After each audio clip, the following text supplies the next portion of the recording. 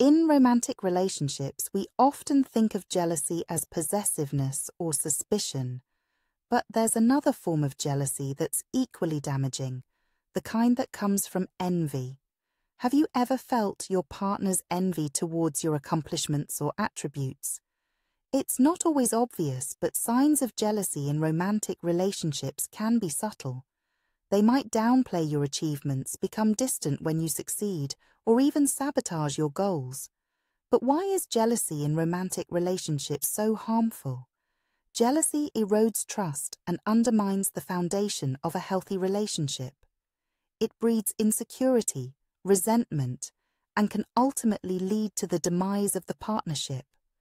So, what can you do if you suspect jealousy in your relationship? First, have an open and honest conversation with your partner.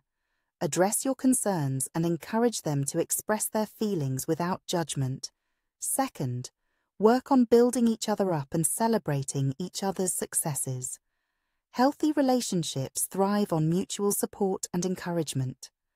And finally, if jealousy persists and becomes toxic, consider seeking professional help or re-evaluating the relationship altogether. Remember, jealousy has no place in a loving and supportive relationship. Be vigilant, communicate openly, and prioritize each other's happiness. Keep your eyes open for signs of jealousy in your romantic connections.